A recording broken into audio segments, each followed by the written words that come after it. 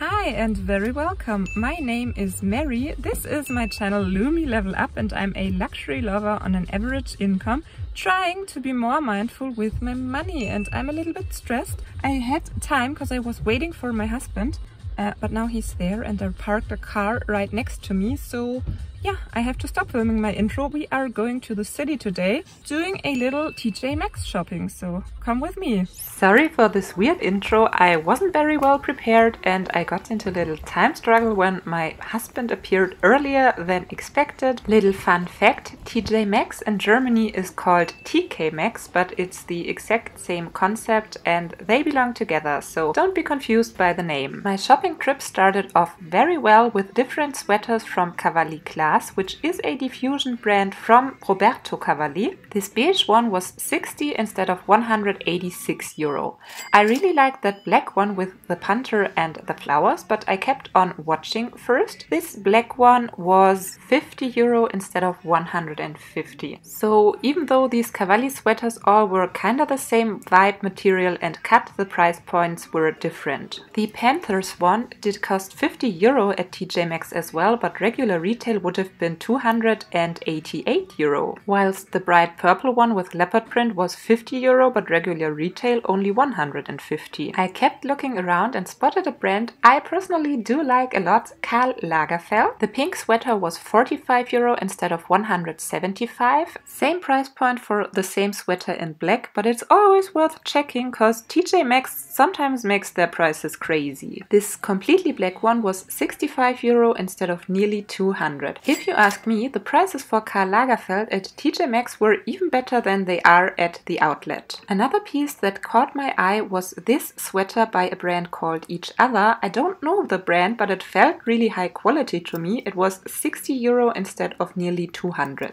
They did have another sweater from the same brand in bright green. If you know Each Other Paris, let me know what you think of that brand, cause I never heard of it before. If you want to shop cosmetics at TJ Maxx, you need quite good nerves cause it can get messy. Nonetheless, I always at least check what they do have. Here you see all the items that have been marked down, but who wants to buy cosmetics that are already that used in store? But you can be lucky as well. Every now and then you find items that are still sealed. For example, I did already find Yves Saint Laurent and Dior cosmetics at incredible prices. But looks as if today the best find would be this Venus XL Lime Crime eyeshadow palette palette for 25 euro or this The Balm palette for 18 euro. I kept on looking a little bit longer but today there wasn't anything at the cosmetics section that caught my eye and today definitely no Dior or Yves Saint Laurent. Let me know down in the comments where you live and if there is sold the brand Art Deco cause I personally like that makeup brand quite a lot. My next stop was the jewelry counter and they had quite a big section of just Cavalli pieces which is is yet another diffusion line from Roberto Cavalli. Most pieces were between 25 to 30 euro, except that snake bracelet it was only 11 euro, but unfortunately it was missing a stone. My jewelry highlight definitely were the pieces from Coach. Earrings were 40 euro and little bracelets were 65. Unfortunately I had no idea what these pieces cost regular retail. Look what we have here hidden by the jewelry, a Chloe mini C bag in yellow for 700 euro instead of 1300. Please let me know if you think that is a good price and if I should consider the bag. It does have a crossbody strap as well. In the showcases they had a bunch of Michael Kors watches as well. Most of them were around 150 euro, but they didn't have any luxurious watches this time. From the toiletries we go on to wallets and SLGs. It is possible to find gems, but most of the times it's a lot of cheap stuff or some contemporary brand pieces pieces if you're even lucky. This wallet was 25 euro, but I don't know the brand. If you're interested, such a big DKNY wallet would have been 40 euro. They did have quite some variations and color combinations of that Continental wallet. A piece that got me quite tempted, this Coach wristlet in a beautiful lilac color. It was 40 euro instead of 95.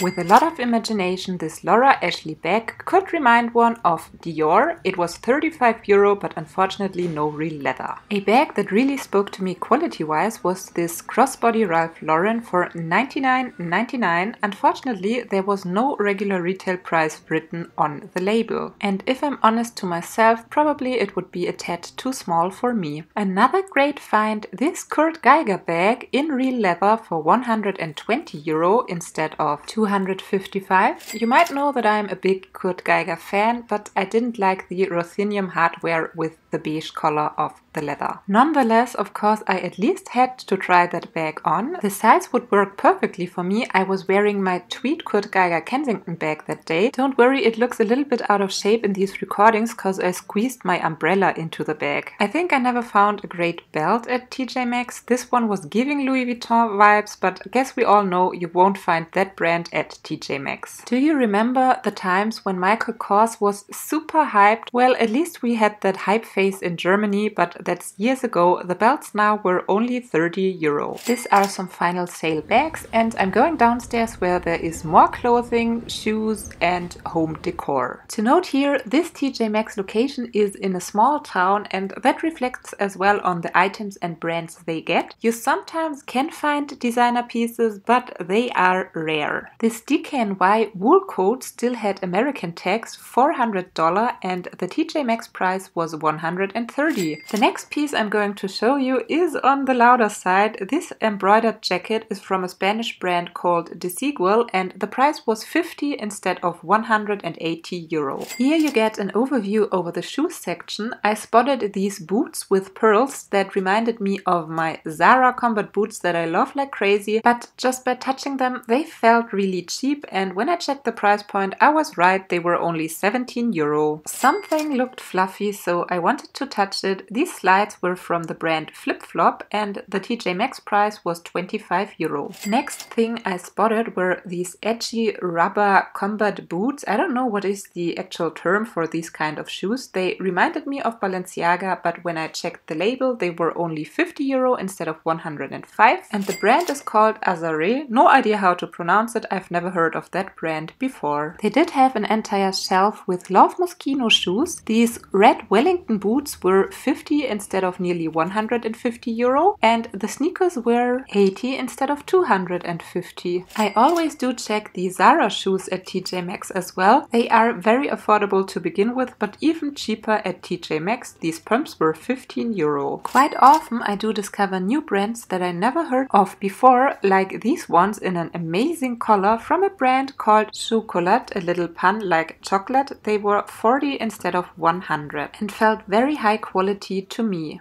When I spotted this dress, it immediately was giving me Gucci vibes. It was from Massimo Dutti. Unfortunately, they did cover the regular retail price, but the TJ Maxx price was 35 euro. Absolutely my aesthetic. I don't know why I didn't try it on. The next piece that caught my attention was a Zara one as well. This shiny vinyl jacket was only 13 euro. I'm sure at Zara it was at least 40, but I didn't like the look on me at all. And probably I would not even have been able able to close it? Well, let's blame it on my jumper. This is the one scene I was able to make my husband film, but I'm not sure if he will ever be a camera, Instagram, YouTube hubby. But at least he tried whilst I was browsing the sales section. For 30 instead of 110 you could get this country vibes French connection dress, which is quite a popular contemporary brand here in Germany. I liked that white dress for 32 euro but I never heard of Julia Jordan before. Do you know the brand? A brand that I do know very well and that is on the higher priced contemporary side as well is Twinset. This was an interesting dress for 29 euro instead of 170. Of course, at that price point, it was only fake leather. I held it to my body, but it was an extra small, so I didn't see a point in trying it on. This black and white polka dot dress is from a brand called Noa Noa. Regular retail would have been 130 30 euro and the TJ Maxx price was 50. Somehow cute was this pink flowery shirt on sale for only 7 euro. I liked the zipper on the back but I was too lazy to try it on. This pink velour Juicy Couture tracksuit jacket for 40 euro was giving me 2000s nostalgia vibes. Finally, a full body shot of my outfit of the day with my Kurt Geiger Kensington bag whilst I was waiting for my husband to try on stuff. Here he is shaking his booty for you, but we didn't like the white trousers too much on him, but he did buy that green jacket shirt.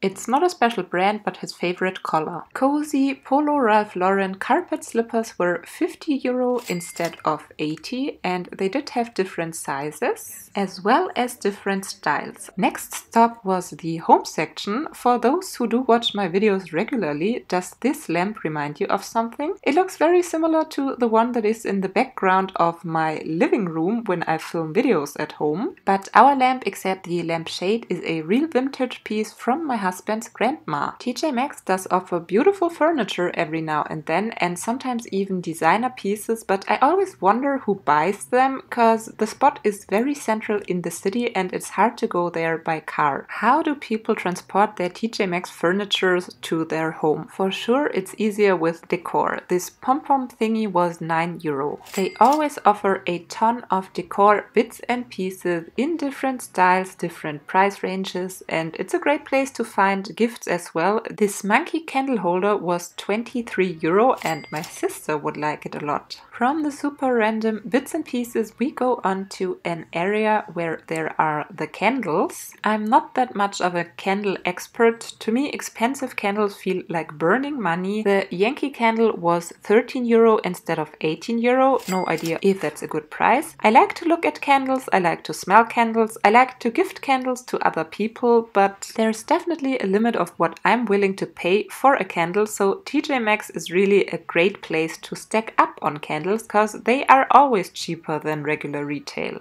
And since I have no idea what I search for in a candle, it's even easier for me because I can browse the sales section and then they are even cheaper. This candle was 7 euro and the name was Joys of Australia, so I wanted to smell it and think of my friend, this is Danny O here on YouTube because she lives in Australia. This candle spoke to me because of the packaging. It was reduced to 12 euro. I felt like as if it might be an expensive brand, but I never heard of Markus Lupfer. To me, it smelled kinda boring and the regular retail price would have been nearly 50 euro. But since the scent didn't hook me, I wasn't interested in the Markus Lupfer diffuser neither, which was only 7 euro. There was another kind, Joys of Australia candle for 5 euro. I smelled that one as well, but it was quite boring as well. For 11 euro instead of 25, I spotted a candle that promised to smell like laundry.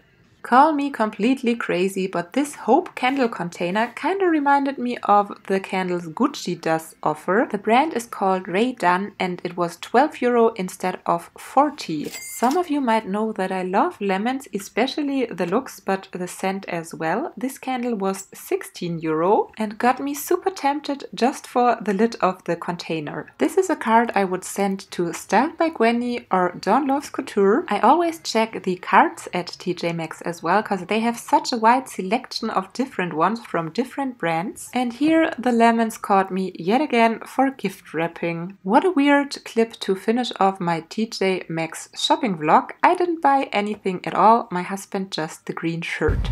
Thank you so much for watching. Hope to see you next time and bye!